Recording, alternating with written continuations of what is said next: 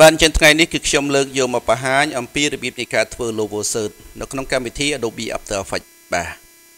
អញ្ចឹងការធ្វើ logo search ឬក៏ automation គឺយើងមានមានថា technique និងបច្ចេកទេសផ្សេងផ្សេងគ្នាអញ្ចឹងជំហានទី1ដើម្បីយើងបានតម្រង់នឹង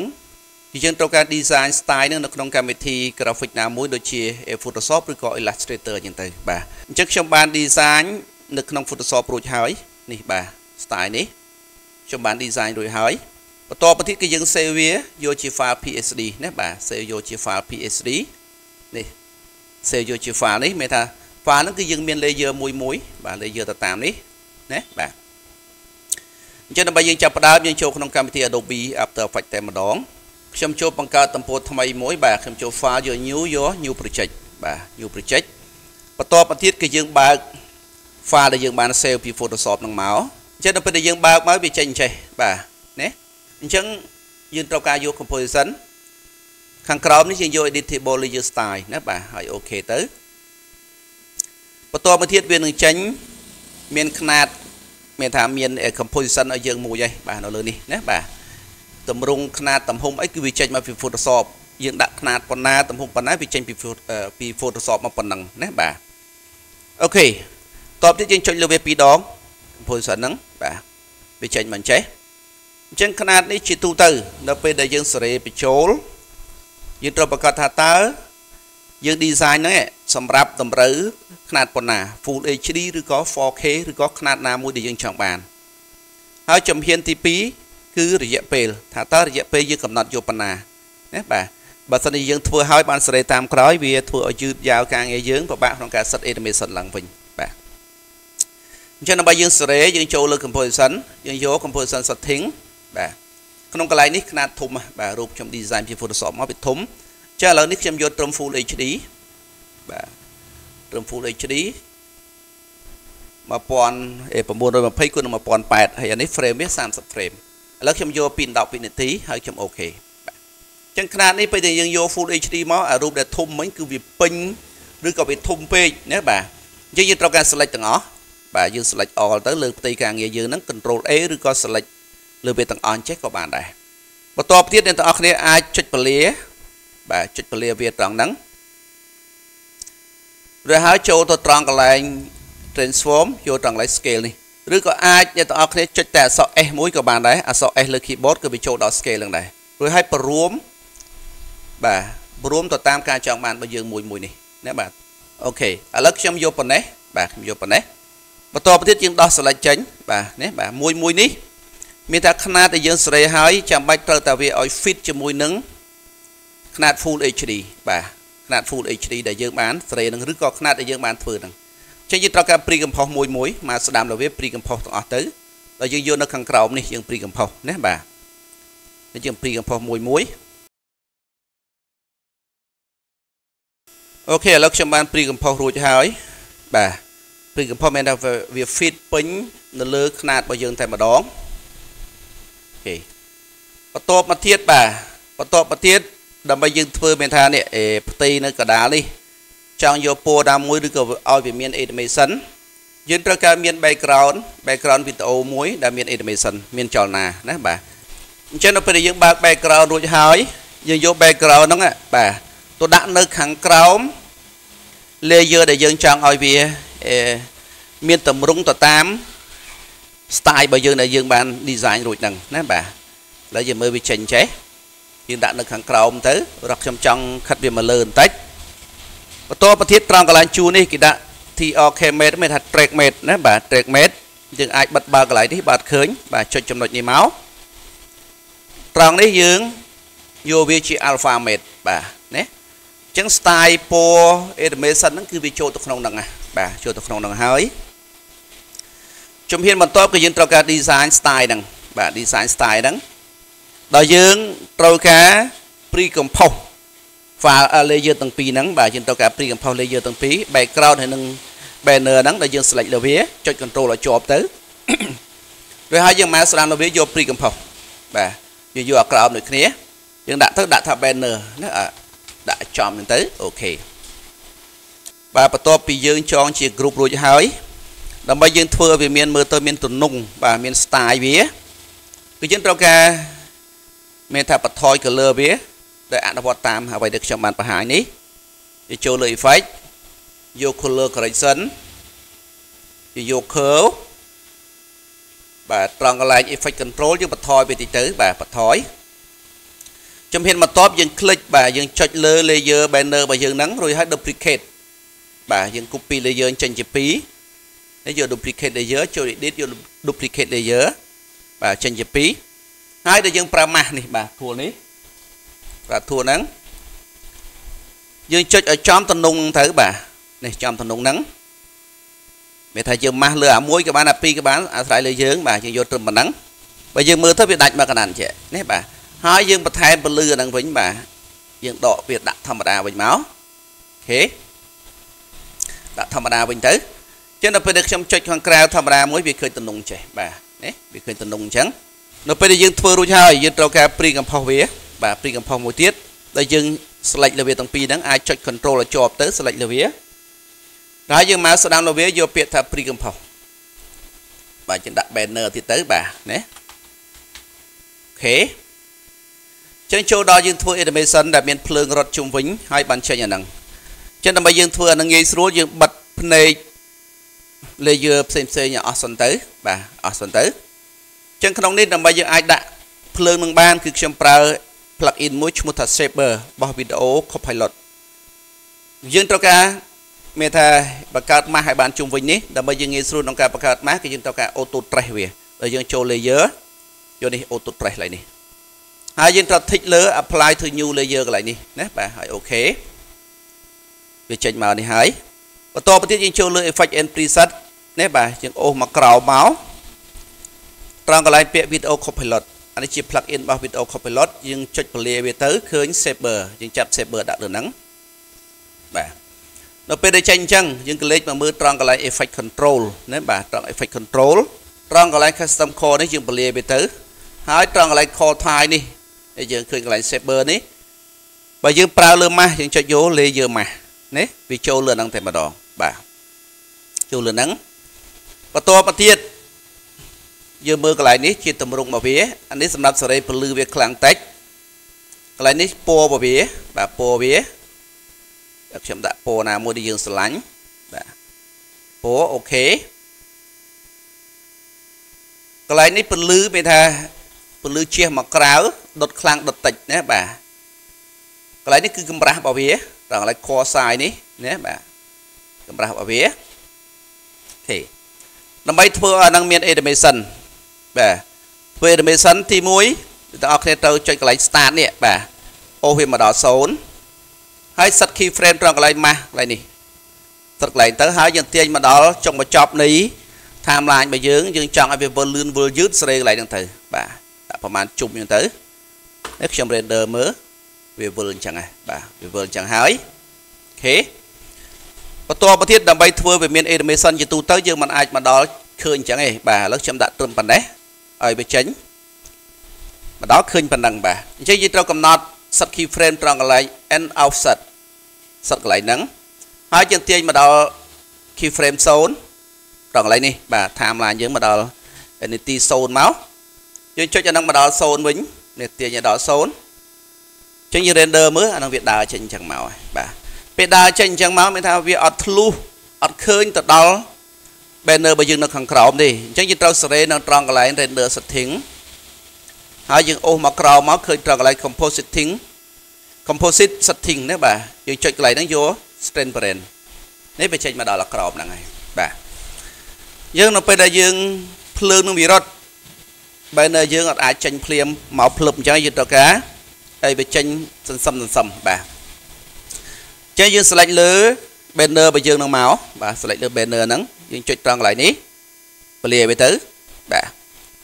យើងមើលនេះយើងអាចប្រើ opacity ឬក៏យើងប្រើ mask ក៏បានដែរឥឡូវខ្ញុំប្រើ mask ខ្ញុំចុចលើនេះ tool នេះខ្ញុំចុចពលាអញ្ចេះ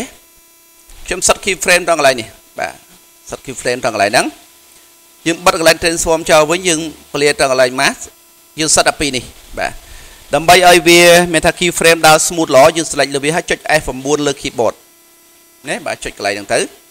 ហើយយើងទាញមកក្រោយអ្នកទាំងអស់គ្នាអាចដាក់ feeder ឲ្យវាមើលទៅរៀងព្រាលព្រាលព្រាលព្រាលបន្តិចស្អាតហើយយើងចុច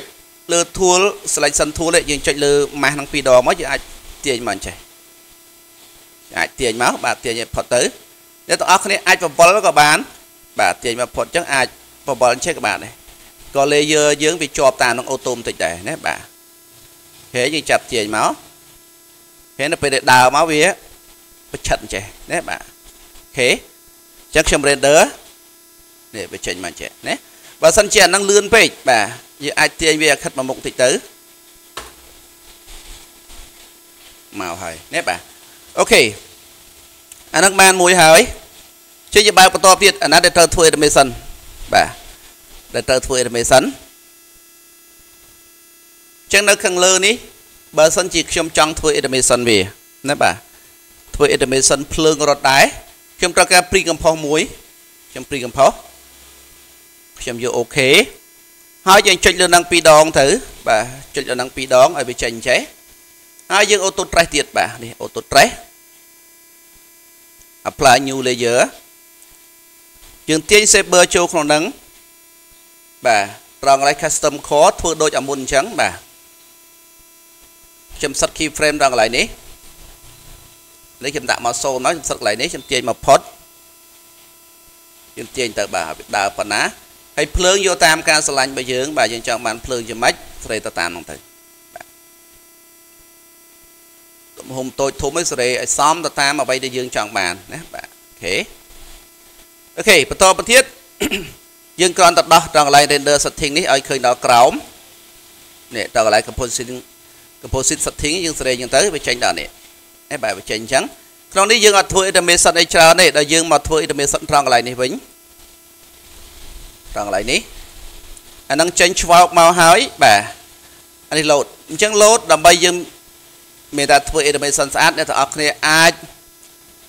ចាប់ key frame ក៏បានឬក៏ក៏ប្រើ effect បាទបើមាន effect ខ្ញុំប្រើ effect មួយរបស់ Red Giant Universe បាទដែលខ្ញុំប្រើក្នុងនេះខ្ញុំយកតម្រងវាមានស្រាប់ខ្ញុំចង់យកវា load ចេញពីក្រោមមកខ្ញុំយកនេះណាបាទអញ្ចឹងអានេះនៅពេលដែលវា load ចេញមកកុំឲ្យវា load មកមុនណាបាទនៅពេលដែលអារូបនេះចេញពេញហើយចាំមិនដឹង load មកនេះណាបាទអូខេ បាទចានេះវា load ចេញមកពីក្រោមផុតពេលវាចេញមកពីក្រោមឆ្ងាយអញ្ចឹងវាអត់ស្អាតទេយើងត្រូវឲ្យវា load ហ្នឹងឲ្យ load ត្រឹមតែជឹមពី banner ហ្នឹងបានហើយណាបាទត្រឹម banner ហ្នឹងបានហើយជាយើងត្រូវការ pre compose វាមួយទៀតដល់ពេលយើងដាក់ animation ហើយយើង pre compose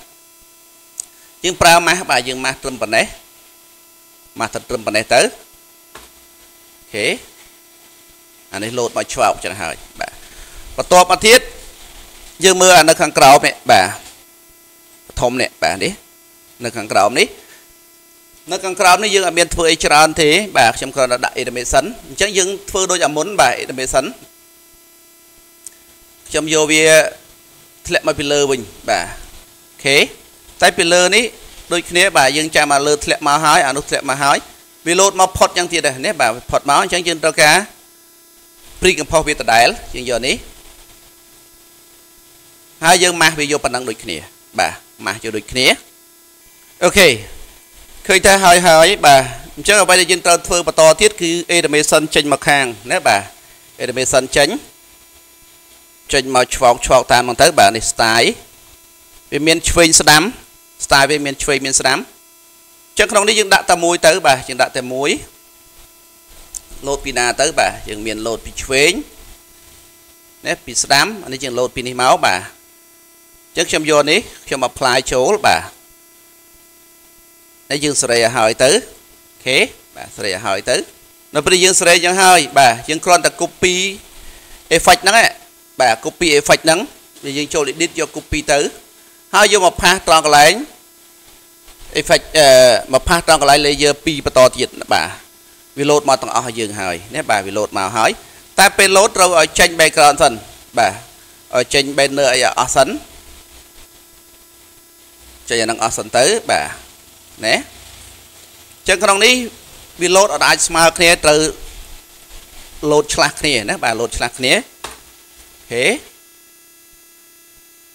វាចេញមកបាទអញ្ចឹងនេះវា load ហួសហួសពីក្រៅមកទៀតនេះហួសពីនេះមកទៀតនេះចឹងយើងត្រូវឲ្យវា load ចេញទៅពីក្នុង banner ហ្នឹងឯងបានស្អាតអញ្ចឹង3ហ្នឹងយើង pre compose ចូលគ្នាទៀតបាទយើង pre compose ចូលគ្នាមកហើយយើងម៉ាស់បាទប្រើម៉ាស់នេះ យើងកាត់ត្រឹមមកកណាត់ទៅអញ្ចឹងពេល load មកយើងឃើញវា load ចេញតែមកកណាត់ប៉ុណ្្នឹងឯងចេញពីក្នុងហ្នឹងតែម្ដងណាបាទជំហានបន្ទាប់យើងធ្វើ animation អានេះអានេះយើង load ពីណាយើងចូលទៅ effect របស់យើងទៀតបាទ effect របស់យើងទៀតយើង load ចេញពីណាទៅណាអូខេណាអានេះយើង load ពីឆ្វេងមកអពីស្ដាំមកចុចនេះបាទចឹងហ្នឹងយើងសេរីតែមួយហើយ copy ដាក់ដូចឲ្យមុនអញ្ចឹងបាទ ប៉ុណ្នេះរួចហើយយើងគ្រាន់តែថែមថយខ្លះបាទថែមថយខ្លះខ្ញុំឧទាហរណ៍ថាបើសិនអ្នកទាំងអស់គ្នាចង់ធ្វើឲ្យ banner នេះមានមែនថាអេដូចជា reflection រត់កាត់ណាបាទដូចជា reflection រត់កាត់ជាទូទៅគេច្រើនតែប្រើ CC Light Sweep តែហ្នឹងវាមានថាអ្នកជា After Effects គឺគាត់ប្រើច្រើនហើយហើយវាសាំដែរហើយអាហ្នឹងក៏វាមិនសូវស្អាតដែរអញ្ចឹងដើម្បីយើងធ្វើឲ្យវាមើលទៅ smooth ល្អបាទធ្វើ smooth ល្អគឺយើងត្រូវការ ធ្វើតាម style នេះបាទបច្ចេកទេសខ្ញុំធ្វើនេះបាទបច្ចេកទេសនេះណាអញ្ចឹងក្នុងហ្នឹងយើង copy ជា2បាទទី1អាហ្នឹងយើងធ្វើរួចហើយយើង pre compose វាទៅបាទ pre compose វាទៅហើយយើង copy layer នឹងចេញជា2ចុច control អក្សរ D ទៅរហូតយើងប្រើ effect មួយដើម្បីចាក់ពណ៌លើវា fill បាទ fill color ណាបាទនេះយើងយក fill យកមកដាក់លើអាលើទៅ ហើយយើងមើលត្រង់កន្លែង effect control អានេះយើងចង់បានពណ៌ឲ្យដាក់ពណ៌ហ្នឹងទៅខ្ញុំដាក់ពណ៌សអូខេបាទពណ៌សបន្ទាប់ទៀតយើងពលាត្រង់កន្លែងនេះត្រង់កន្លែង transform យើងបន្ថយកន្លែងនេះទៅបាទបន្ថយពណ៌នេះទៅហើយយើងប្រើ pen tool ដើម្បីម៉ាស់នេះចាប់បាន style ប៉ុណ្ណាខ្ញុំយកប៉ុណ្ណេះដល់នេះបាទខ្ញុំយកប៉ុណ្ណេះយើងចាក់ប៉ុណ្ណេះទៅ ហើយយើងសិត key frame ត្រង់កន្លែងម៉ាស់កន្លែងនេះបាទចូលឆ្វោកចឹងហើយសិត key frame ត្រង់កន្លែងនេះនេះត្រង់កន្លែងម៉ាស់ pad នេះយើងចុចលើ selection tool ចុចលើនេះពីរដងចាប់ទាញវាមកក្រោយមកបាទឲ្យផុតចឹងទៅយើងចុច F9 មួយអត់យើងចង់វាមាន animation ត្រឹមប៉ុណ្ណាទាញដល់ប៉ុណ្នេះយើងចុចលើនឹងពីរដងវិញចាប់ទាញវាទៅបាទអូខេឥឡូវចាំមើលខ្ញុំ render បាទភ្លើងវារត់មកនេះបាទបើយើងចង់បានវាស្ដើងអីយើងអាចសេរីពណ៌វាទៅតាមហ្នឹងនេះបាទត្រង់កន្លែងកម្រាស់វាទៅតាមហ្នឹងនេះត្រង់កន្លែង opacity នេះណាបាទចឹងឃើញស្ដើងឃើញក្រាស់យើងសេរីតាមហ្នឹងទៅអូខេបើយើងចង់បាន2 3ដងយើងចុច duplicate ឲ្យលើដែលយើងបានសេរីហើយទាញវាបន្តគ្នាតិចទៅបាទអញ្ចឹងវានឹងរត់ដេញគ្នាតាមនឹងឲ្យយើងហើយណារត់ដេញតាមនឹងឲ្យយើងហើយ បាទទៅមួយវាមកអញ្ចឹងរហូតណាបាទអូខេនៅពេលដែលយើងបានអញ្ចឹងហើយចង់វាយអក្សរក្នុង After Effects នេះណាយើងធ្វើហើយយើងអាច export វាអត់យក background យកទៅដាក់ក្នុងកម្មវិធីកាត់តណាមួយក៏បានឬក៏យើងវាយក្នុងនឹងឲ្យហើយក៏បានដែរបាទអូខេយើងចូលអក្សរ T ក្នុងនេះយើងអាចវាយជាខ្មែរក៏បានវាយជាអង់គ្លេសក៏បានអត់បញ្ហាទេបាទឥឡូវខ្ញុំវាយដាក់ថា graphic design graphic design បាទអញ្ចឹងអក្សរយើងត្រូវយកទៅដាក់នៅខាងលើ បាទដាក់លើគេអានេះទំហំអីយើងអាចសរេសរងទៅតាមកន្លែងនេះបាទខ្ញុំជឿថាអ្នកដែលគាត់រៀនដល់កម្រិតហ្នឹងគឺគាត់ចេះហើយការងារហ្នឹងអូខេឥឡូវខ្ញុំរកខ្ញុំយកចេះនេះបាទខ្ញុំយកអញ្ចឹងខ្ញុំដាក់ឲ្យចំលើផ្ទៃតែម្ដងក៏បាននេះពណ៌បាទយើងដូរពណ៌ទៅយើងអាចយកពណ៌ណាមួយដែលមើលទៅឲ្យលិចបាទជាមួយនឹង background យើងខាងក្រោយ banner យើងខាងក្រោយ អូខេអញ្ចឹងនៅពេលដែលវា load មកដល់ឆ្វោកអញ្ចឹងហើយទើបវាចេញអក្សរអញ្ចឹងអក្សរដើម្បីយើងលេង style វា load បានគឺយើង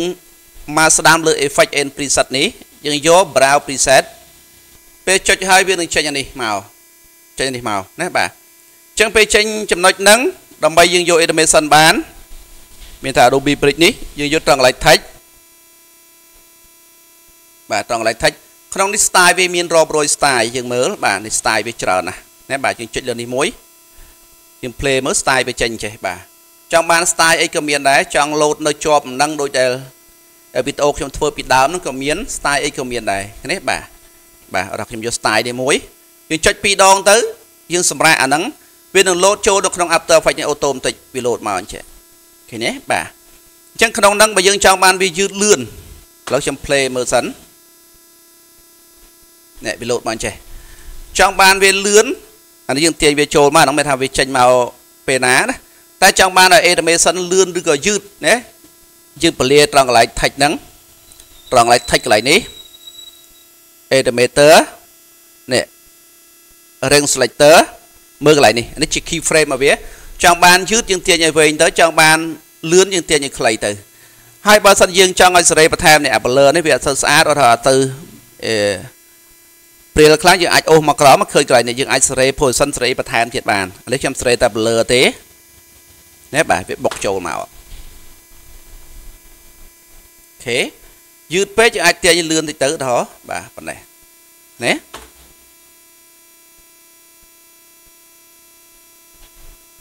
OK OK អញ្ចឹងមេរៀននេះមានប៉ុណ្ណឹងអរគុណបាទ